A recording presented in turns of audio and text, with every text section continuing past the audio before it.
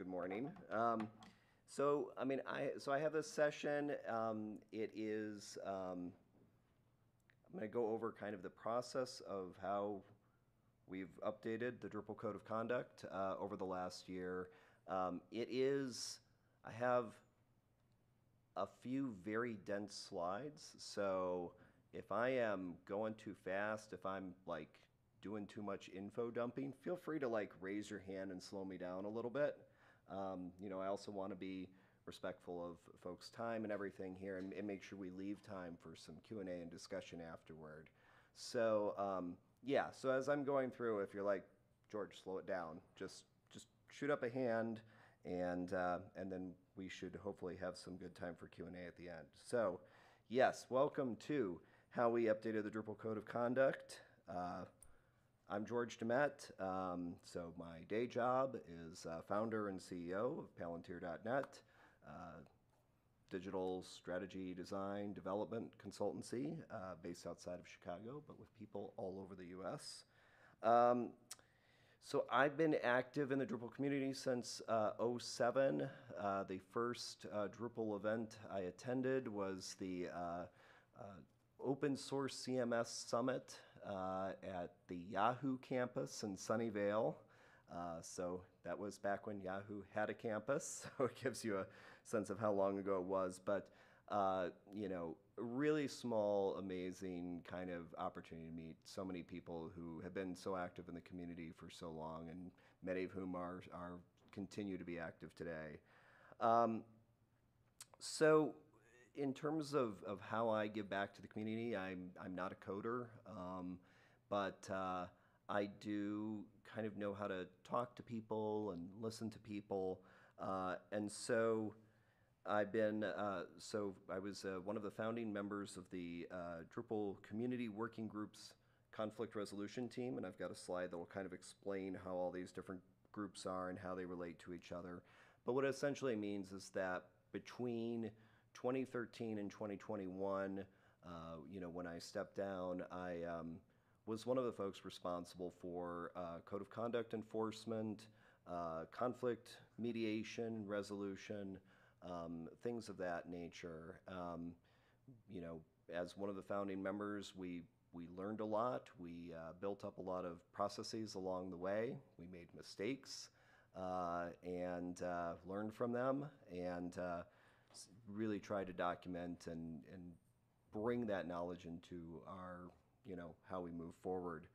So right now, I'm a member of the uh, Drupal Community Health Team, which means uh, that I don't, uh, I'm not involved in uh, conflict resolution or code of conduct issues unless I'm specifically called in either because I have background knowledge of the situation or some sort of specific expertise that would be useful.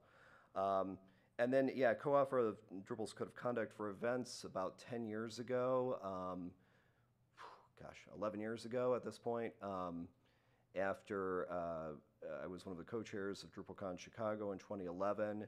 Uh, we didn't have a code of conduct uh, for our events. We didn't have a code of conduct for DrupalCon. And as someone who was kind of sitting in the like organizer seat and hearing afterward about some of the things that happened um, at that event. Uh, fortunately, very few, but um, still, it was like, you know what, we, we kind of need a code of conduct for events. And so um, went through that process and uh, uh, helped create the, the initial version of the document that exists today. And so I'll explain the difference again between the community code of conduct, which is what you see on Drupal.org, and the code of conduct for an event like DrupalCon, an in-person event where you have people interacting with each other in person, right, or even virtually at events, and uh, and sort of the the differences between how that gets handled. So, let me lay some context here. So, this is this is the best way I found to visualize this. So. Um, in terms of community governance, the community working group, the way uh, we're set up, we have kind of a unique structure. Um, so starting at the bottom, uh, I mentioned the community health team. And so the community health team is a group of I believe, about two to three dozen folks um, who are actively engaged in different aspects of the community from all over the project, whether they're folks who work on Drupal.org, whether they're folks who work on events, um, or uh, am- ambassadors, people who are involved with communities in different parts of the world, um, making sure that we have a, uh, a global representation. And, um, and again, as I said, you know, uh, they're in yellow, so that means, is my little color coding, it means we don't get involved in uh, conflict resolution, uh, you know, between folks. Uh, if somebody files an incident report that doesn't, the community health team doesn't see that. Um, but, um, but obviously may get involved uh, if there's, if there's something going on in an issue queue thread that's public. Uh, sometimes one of our community health teams will be one of the folks who posts one of those little, we call them the little nudge messages that kind of reminds people to be respectful and everything. So that's the community health team. Um, then we have the subject matter experts, and so those are people who might be part of the community health team who might get called in on a particular conflict because there's um, they have again some sort of specific expertise, whether it's a specific language or cultural expertise, uh, whether it involves maybe uh, a particular subset of the community who that person you know uh, has a better knowledge of, things like that. And so that's why uh, that I have in blue. So that, may, that means that somebody who might sometime get pulled in on an incident report. Uh, and then you have the, the community working groups conflict resolution team. That's that kind of small core group, uh, usually around um, four to six people um, who are really actively involved. They receive the incident reports. Uh, and they are um, they're the ones who work through them uh, and you know and basically try to resolve the situation or conflict in one way or the other. So um, so again, the blue color coding those are people who who may be involved with um, with issues. The uh, community working group has, uh, th- so they are overseen by the review panel. The review panel is three people, uh, consists of two community elected board members of the Drupal Association, and an independent representative, uh, basically someone who's involved in community management uh, from a different open source project or involved with different open source projects. And so uh, that person is, uh, and, and actually has been since we put this governance structure in place in 2019, uh, Jono Bacon. Uh, so folks aren't familiar with him. He's kind of a big name in open source community management, wrote a couple books on it, all around pretty great guy, um, but very, very experienced with, with, with this stuff. So the review panel, um, their role would be if there is an issue that the community working group either needs some additional assistance on, or if uh, somebody wants to appeal a decision of the community working group, that review panel would get involved in that point. The review panel also approves the membership of the community working group of that conflict resolution team. And so that's the oversight there. And this was a structure we put in place in uh, beginning of 2019. Um, and uh, previously, uh, the conflict resolution team had reported directly to Dries. Um, that wasn't something that scaled. It didn't work for anyone. Um, uh, and, uh, and, and Dries didn't want uh, want to be responsible for it either. Um, but you know, at the time, the initial governance structures were set in place in 2013. He was kind of the only person who could do it. So, um, and because we have those community elected board members who are part of that, uh, who make up two thirds of that panel, it does mean that there is a level of accountability to the community at large.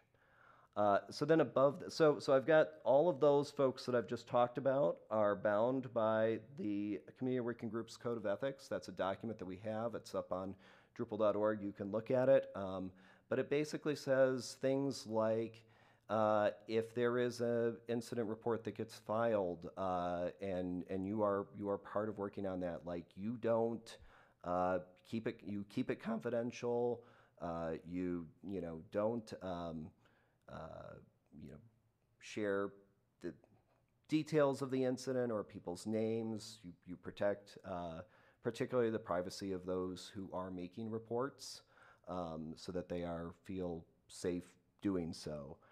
Uh, and uh, and it also covers things like a conflict of interest, like how you recuse yourself if you have a connection to one of the involved parties in an incident, things like that. And again, that's something we put in place um, in uh, 2017, 2018, um, just as kind of an added uh, way of improving our accountability and governance. So then above that, obviously you have the Drupal Association Board of Directors. Um, and uh, so that includes the two community elected board members plus, I think there's 12, 13 other. I'm looking over at Leslie because she roughly in there. Uh, uh, and those are obviously the folks who oversee uh, the the running of the Drupal Association. They're they're really more of a strategic board, uh, so they they don't get involved in operations. That's that's the CEO Tim Doyle manages that. Um, and there is, if something can, in theory, like get escalated, if it has such a huge community-wide impact that um, you know the review panel feels that the entire board needs to be looped in on it, that uh, that can happen. Um, it has never happened. Um, the the kind of incident that that would necessitate that would be, I would think, pretty extreme. And there's also kind of language in our charter about about how that gets handled. Again, to make sure that we are uh, we are protecting people's uh, privacy and everything. So that's it's a little bit of context, kind of laying out our structure because it is a little bit different uh, than other open source projects. Uh, we're a little bit different than many open source projects because we are uh, you know, an independent project. We don't have, we're not corporate sponsored. A corporate project can basically has their HR department handle a lot of these things, but uh, we have our own structure. Um, so the uh, so I mentioned before there's there's the event code. So there's a code of conduct for this event that is enforced and managed by the Drupal Association staff. Uh, so these folks are generally not involved unless they're looped in on the issue. Uh, local uh, community events, Drupal camps, etc., again, have their own codes of conduct. They have their own enforcement. Um, if there is an incident that happens at a camp, we really want to make sure that, you know, uh, we encourage camp organizers to let the community working group know um, of that what happened because sometimes what you'll see is you might have somebody who um, we've seen situations where there's somebody who kind of has a pattern of behavior at different in-person events. And, uh, and if the CWG knows about it, then they can uh, take appropriate action to make sure that harm doesn't occur at other events. All right, that's a whole lot of context. Um, more context now. so here's uh, kind of a brief history, and this is how we got to this point. So Drupal actually was one of the very, like a very early project in terms of adopting a, a code of conduct. And it was back in 2010, Moshe Weitzman, who I think is like number, he's in the number three or four. He's in the top 10 Drupal.org numbers, been with the project for an incredibly long time since the start. Um, he proposed in 2010 that we essentially adopt the Ubuntu code of conduct, uh, which we which we did. There was you know a very short discussion, and, and everyone was like, yep, that sounds like a great idea. Um, but it, um, when it was adopted, there, there, was no, uh, there was no enforcement mechanism. There was no language around what to do if there's conflict. It was really just kind of a, well, we'll, we'll put that in when we get there. And uh, so, uh, you know, what happened during that time, and, you know, again, finding out about this uh, later is that, you know, there was obviously still harassment and bad things happening and people um, leaving the project um, because they didn't know who they could talk to or what could be done about it. Uh, so in 2012, summer 2012, uh, Dries held a governance sprint, and it was really uh, to put together some governance structures uh, around both the technical direction of the project and the community. Uh, so there were there were several working groups created. Uh, the community working group was one of them. Um, as I mentioned before, this is around the time as well when the Drupal Association adopted their code of conduct for DrupalCon and other events. So then CWG was chartered in the spring of 2013. Uh, kind of first order of business after kind of sorting through some of the outstanding things we were aware of was to develop incident report and conflict resolution process. We added some anti-harassment language to the code of conduct, but it, it was again very general. It was just like we don't tolerate harassment, but we didn't really kind of go into what that meant. But at least if somebody experienced harassment, they had a place to report it. Uh, they had a way to report it, and that was in the code of conduct. And we we uh, kind of continued along with that until uh, 2017. Um, there was uh, kind of a major community incident that occurred in 2017.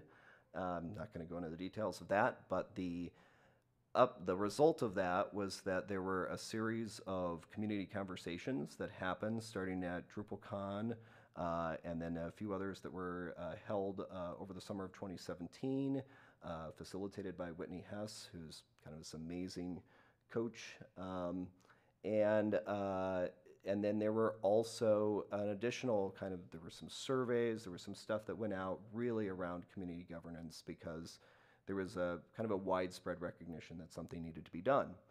Out of that uh, came several series of proposals to improve uh, community governance. Uh, there, a lot of them were focused on, a uh, number of them were focused on uh, oversight and governance of the community working group. So, again, 20, uh, 2018, we worked on that. At the beginning of 2019, adopted a new charter that provided that oversight and accountability. And it was like, okay, 2019. So now 2020, we'll we'll work on the other thing, which is updating the code of conduct. Uh, and we sent out a survey and stuff. And then um, there was a global pandemic, so that kind of uh, kicked things a little bit uh, down the down the road. But in the meantime, we did create the community health team, and it was really fortuitous timing on that because uh, the, uh, the community health was uh, in a pretty uh, in a pretty rough space in 2020 because, you know, the aforementioned global pandemic. So uh, it was really good to have a group of people who, who really were passionate about um, helping the community. So, 22, about almost exactly a year ago. Uh, so the, the, uh, we started the process of uh, revising and adopting a revised community code of conduct. And so that's where I'm going to kind of start. Um, yeah, that was all prelude. Um, I told you I had a lot of stuff. Uh, so this was a seven-person group was assembled out of community health team members and, and conflict resolution team members.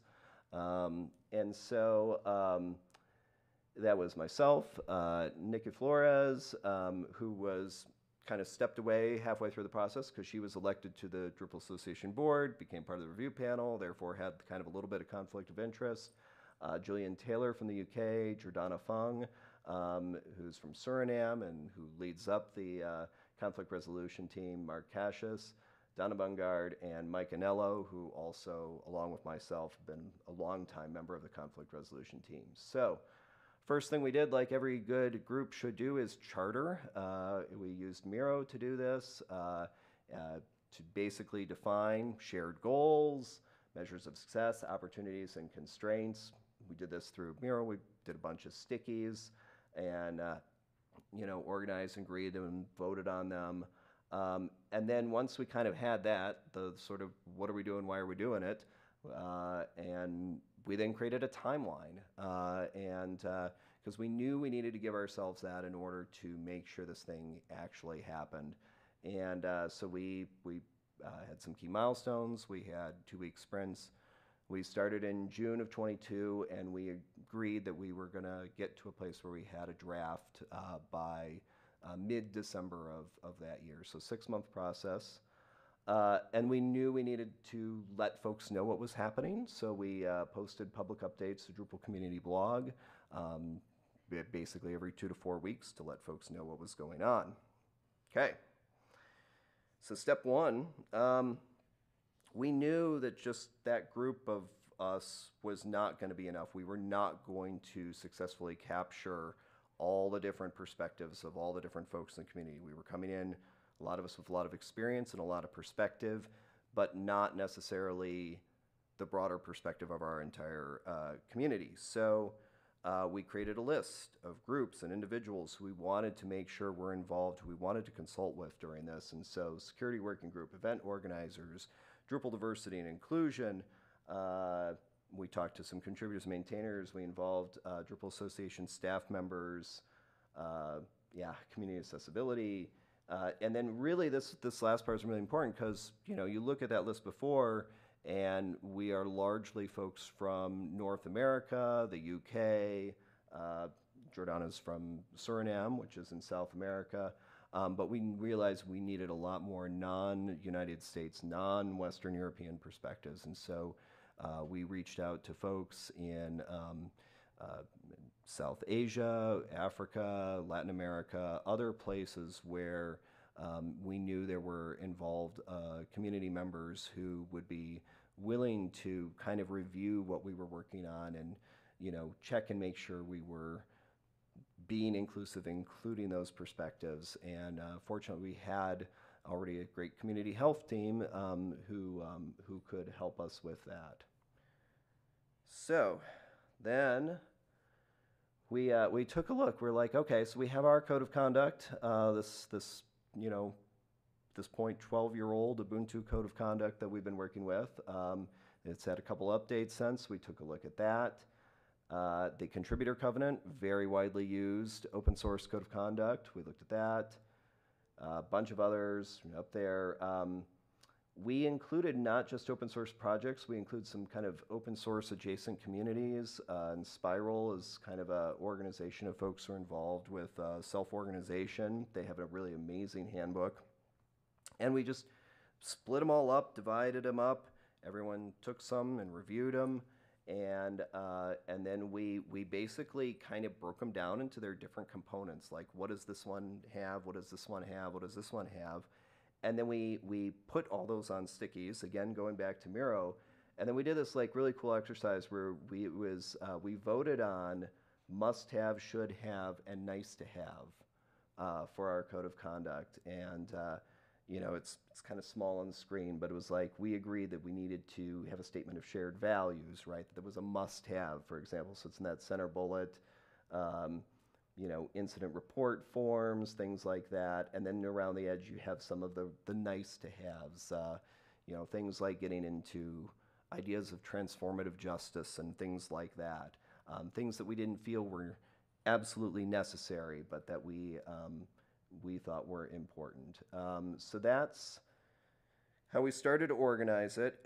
And then we, we created a Google Doc, and for each of those components of all the different codes of conduct, uh, we basically pulled the, the language the, from each of those codes, organized them in a Google Doc by the should haves, must haves, nice to haves, and and took that and we shared it out with that, that broader group of about two dozen community stakeholders for their review and feedback to see, okay, this is kind of where we're thinking this might go. Um, what do you think? And uh, so we got some really like great feedback. Um, you know, using language that uh, was easier to read. This was particularly important uh, uh for our folks who were um, outside, uh, you know, the U.S. and UK and other English speaking countries that a lot of the language that is in these codes of conduct is really difficult to read, difficult, it's complex English. And, uh, and, if, and if English is not your first language, um, it, it takes a little bit more work to, to, to uh, translate it. Um, discussion of a, uh, there was so one of the things we, we knew we had gotten a lot of feedback during that 2017 process about the code of conduct and how it needed to be more specific, more actionable. Uh, and so there was a lot of discussion around sort of what those kind of examples should be of, um, you know, what kind of behaviors uh, we wanted to promote, to encourage, to incentivize in the community, and which kinds of behaviors, um, you know, were, were not. Um, and then uh, this was also, again, a really great place. I'm so glad we had this kind of, this, this group of community members because there were you know, words and phrases in some of these different um, codes of conduct that to someone like me seem perfectly innocuous, but but if if you're someone in a community of color, they read differently. Uh, so, you know, there's words words around things like respectability and stuff like that, which um, it would really appreciated having those kind of flagged for us, so we we knew and suggestions for kind of alternate ways we could get the, sim- the same point across, uh, you know, without um, inadvertently saying something that that might read uh, differently to someone else. So, then, let's see. Hello, there we are. This was the uh, the big meat and potatoes part of it. This was this was probably about four months worth of the six month project was revisions, revisions. Uh, we uh, adapted that outline that we created along with all the feedback into an initial draft. And uh, I really want to thank Donna Bungard here. She did an amazing job of starting to pull that together. Um, and then we basically just continued to meet. Uh, we would review the draft, make additional edits. Um, just keep going on this every every two weeks to just to really kind of hone this down into something that was going to be uh, clear and readable uh, for everyone. Um, yeah, Hemingway editor and readable. This was for me. I'm a person who likes to write. I like to use big words and complex sentences. Uh, so this was a very humbling experience uh, to try to communicate um, some pretty nuanced concepts using very simple, very direct language. And, uh, you know, because we knew that that was really important. And, you know, again, I talked about some of the other open source codes of conduct, you know, so the contributor covenant, right, which is one of the most widely used open source codes of conduct, it's actually written at a college graduate reading level. Um, and that is really challenging uh, to understand, um, even for people for whom English is their uh, native language. So we, we really were doing a lot of work to try to make things clear, shorten se- short sentences, shorter words, um, but that still communicated the meaning. Uh, so then, then we got to a point where we finally like were able to share. We had a draft that we felt comfortable sharing both with our, our stakeholder group and then the full community health team as well for additional review and suggestions.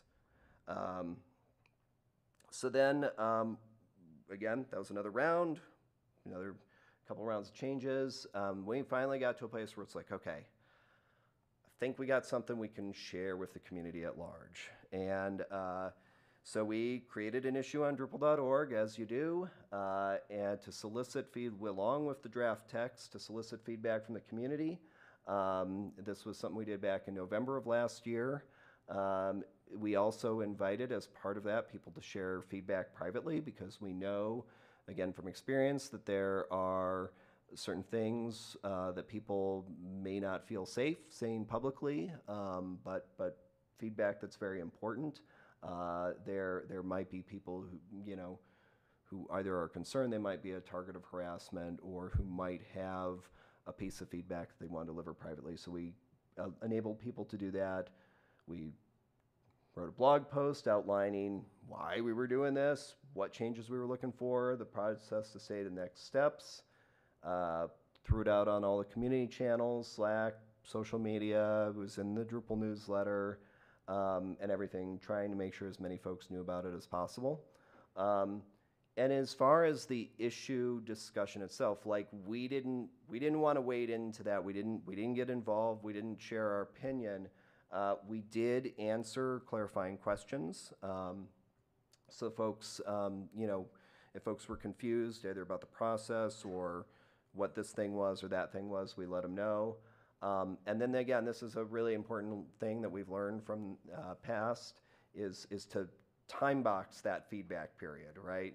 Say, the, this is the period in which we are accepting feedback.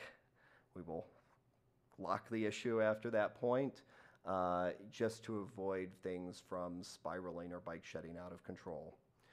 So, I mean, in terms of the feedback we received, it was really interesting. And the, one of the big surprises for me was that um, we uh, actually didn't get a lot of feedback on the new language we were proposing, but we actually got a lot of feedback on on the uh, language that we didn't change that that, that had been there for 10 years. And you know and people were like uh, or 12 years and people were like yeah i don't really like the way that's that's worded or that doesn't make sense or that's you know not not consistent with my experience in the community. So that was um, that was actually almost kind of a signal that maybe we needed to uh, uh, maybe even push things a little forward. So we we did go into then another couple rounds of revision to incorporate that community feedback, uh, and then uh, got that into a finalized draft. We did meet our deadline. Uh, we did get it finished uh, in December, and and then shared that finalized draft with the conflict resolution team. They shared it with the review panel. Um, as per the, the CWG's charter, the conflict resolution team is responsible for maintaining the code of conduct. So they're the ones, um, you know, who are responsible uh, for, for reviewing and approving it. Um, but they did involve the, the review panel. Um, and there was, you know, there were some minor additional changes we made, mostly around clarification, around scope. Um, you know, that was a particularly tough nugget to crack. Um, and then uh, we, we created an, un, uh, an unpublished test page on Drupal.org to illustrate because, as we'll see, I think over on the next slide, we the new code of conduct um, has a different layout essentially than the current one, um, and so we wanted to make sure it was like clear and people could scan it and everything. So um, then after all that, so May 30th was what just over a week ago, we published and announced the uh, code of conduct. I'll, the URL for that will be on the following page if you want to look at that. But there's also blog posts that got published, posted out to Drupal Planet. I just got my weekly drop in my inbox today. I saw that it was promoted there. Uh, Dries has uh, posted about it on all of his socials. Um, he's got a pretty wide reach, and so uh, you know this is something that that uh, folks should hopefully know about um, or be starting to know about. Um, and I uh, also have been speaking with folks at the uh, at the Drupal Association about uh, how we can make sure that it gets a little bit of pr more promotion on Drupal.org as well. What we decided to do was to give folks essentially a month. So the new code of conduct, or the updated code of conduct, will take effect on July 1st. And at that point, it, there will be a, like a little, if you log on to Drupal.org, after July 1st, there will be a, like a little thing notifying people that the code of conduct has been updated with a link to check it out. Um, that will only appear the first time. It'll go away after that. Uh, and then we also made sure that everyone involved, we reached out to everyone to see if they were willing to uh, receive contribution credit. Um, we made sure that those uh, who did, did receive it. So, how am I doing on time? Got a few more minutes? Okay, thank you.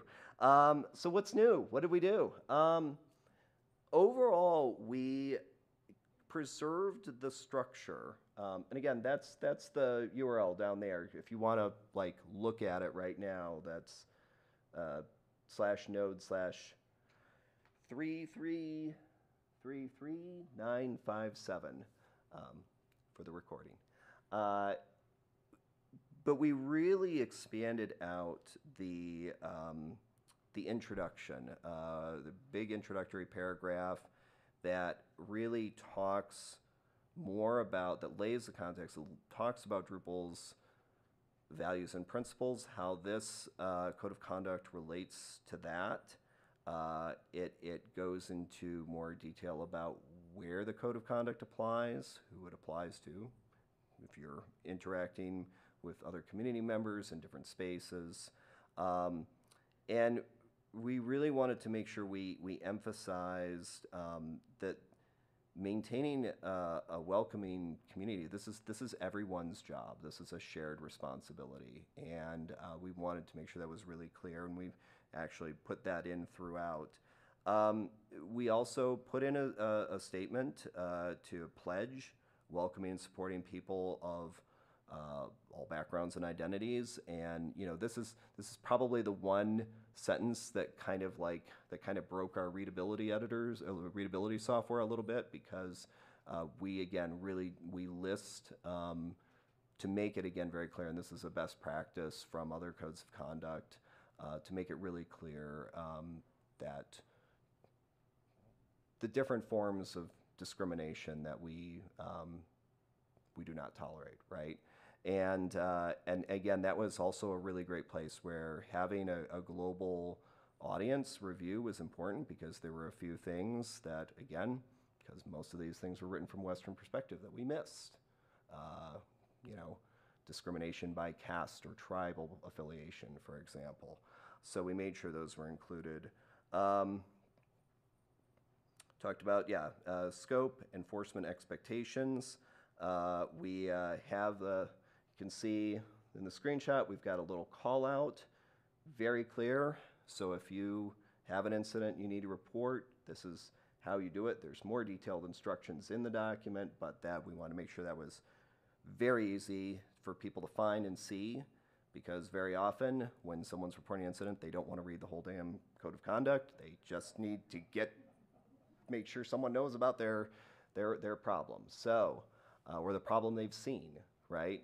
Uh, so we uh, we pulled that out. The um, so again, I talked about so shorter sentences, shorter paragraphs, easier to re- comprehend. We gave it a slightly more conversational, less formal tone.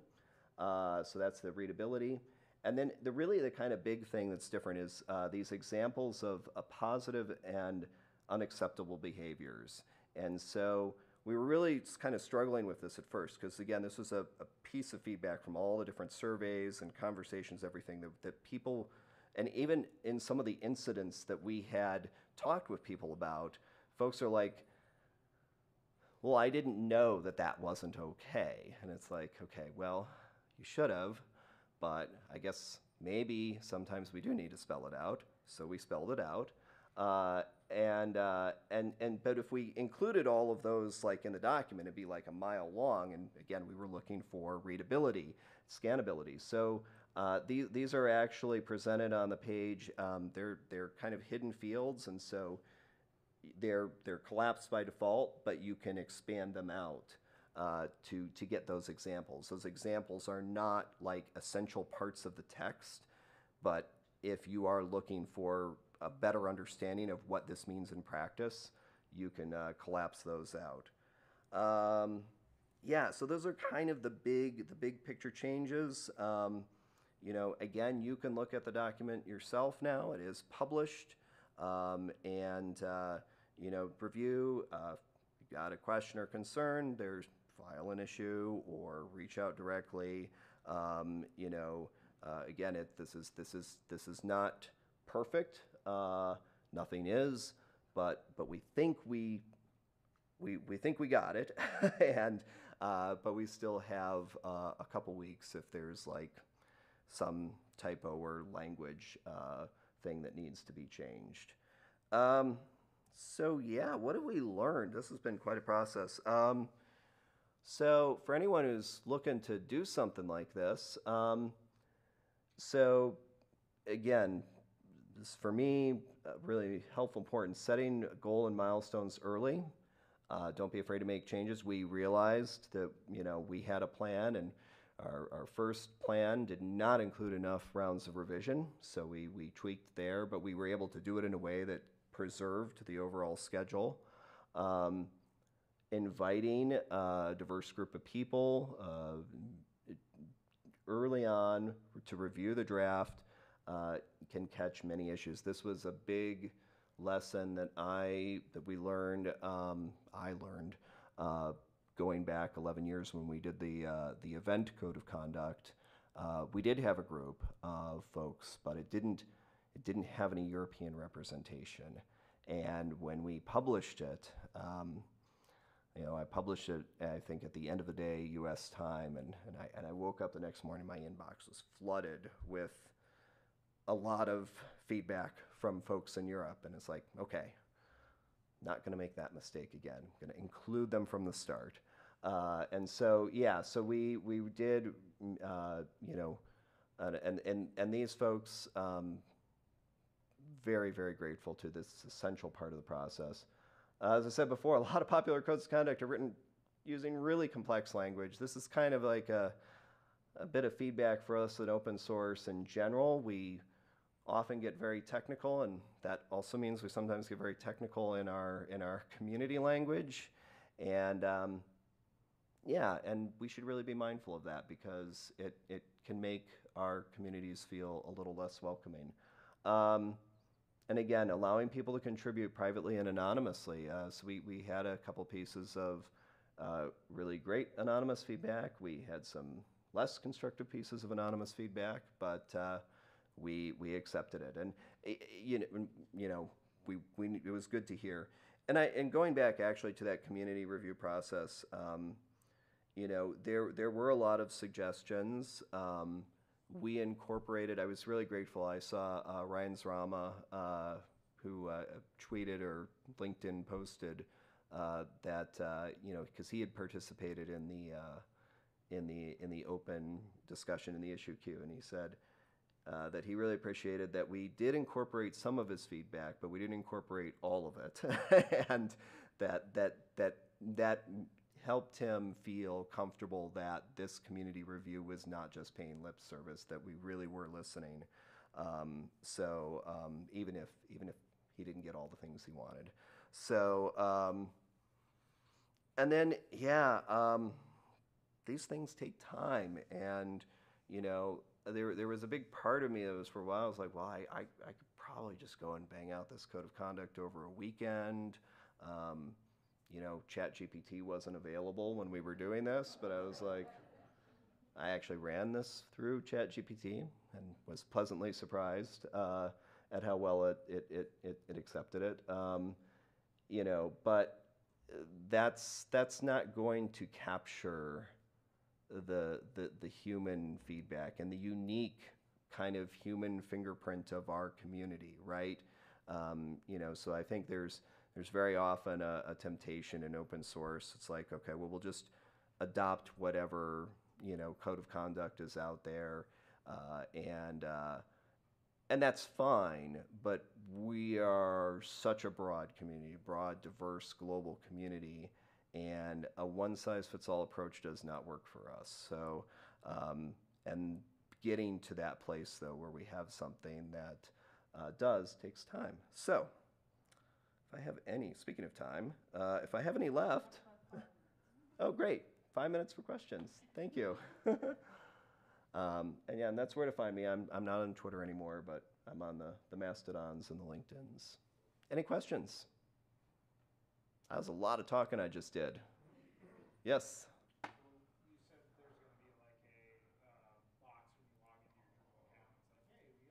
Yep. Uh, you know, we haven't decided on the wording yet. Um, the, sorry, yes, for the recording. Uh, the question was when the uh, when the, the little announcement box shows up on Drupal.org uh, at the beginning of July, uh, will with the you know we've updated our code of conduct. Will that include a little TLDR of the changes? And I was just saying we haven't picked the wording yet. I don't know how much space we'll have to work with. Um, so this is a conversation we'll be having with with Neil Drumm and the technical team, Tim Lehnen um, as well, and um, at the very least, I think we'll link to a summary of the changes. Uh, so folks know, um, but um, but I don't know how much text we'll be able to squeeze in there. Uh, and then, did you have a question? No, someone. I thought I saw another hand somewhere. Corey.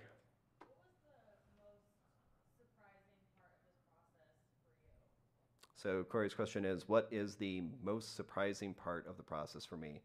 Uh, so for me personally, it was, um, it really was the thing around the complex language. And uh, so I, I actually, this, this has kind of set me down a little path. I, I have, uh, I have realized that um, I am good at writing words. I'm not always good at writing words that are easy for other people to understand, uh, and uh, and and that that it is it was this was a such a humbling process because I there are some very complex, particularly when it comes to scope and enforcement of a code of conduct. You know, uh, like what kind of context would like you know, for example, like uh, we will, if if a community member starts harassing another community member over social media, the social media platform is not itself something that's owned by the community. It's an interaction between two community members, right? And that kind of harassment is absolutely something we can and should be within the scope of our code of conduct to take action on. We can't just be like, oh, well, it was on Twitter, so it doesn't doesn't apply. That that's absurd, right? Uh, and and so, but figuring out how to communicate that using simple, clear, direct language. That, that, that was what we were we were still revising on that one up until the the very very end. And uh, so yeah um, so I now have a much greater appreciation for what, what they call plain language or clear language. It's it's a thing. And I, I wrote a little personal blog or post for a company blog about how it's like really part of accessibility right? Like we we think about accessibility and how it uh, you know we think about like oh you know are the use the font stand out about the background and everything but like if the words themselves are not accessible then like it doesn't matter how good your contrast ratio is. Yeah. Thank you. Yes. So, um, now that you've done this big overhaul, yeah which is amazing, h- what's the plan going forward? Like, how often are you gonna revisit it? And Well, I mean, hopefully it won't be me uh, doing it. um, I really want this to be something, um, you know, and I'm I'm I'm going to talk with the folks on the uh, on the um both the conflict resolution, and the community health team, because we have now these examples that are in there. Um, I really think this is something we should be at least looking at uh, once a year, um, you know, and we don't necessarily need to make revisions every year, but we should at least be reviewing and, you know, seeing if there are new kinds of issues that are coming up. So, I mean, a great example would be um, an issue we have a lot right now that's a very hot issue is uh, uh, people uh, gaming the contribution credit system, right?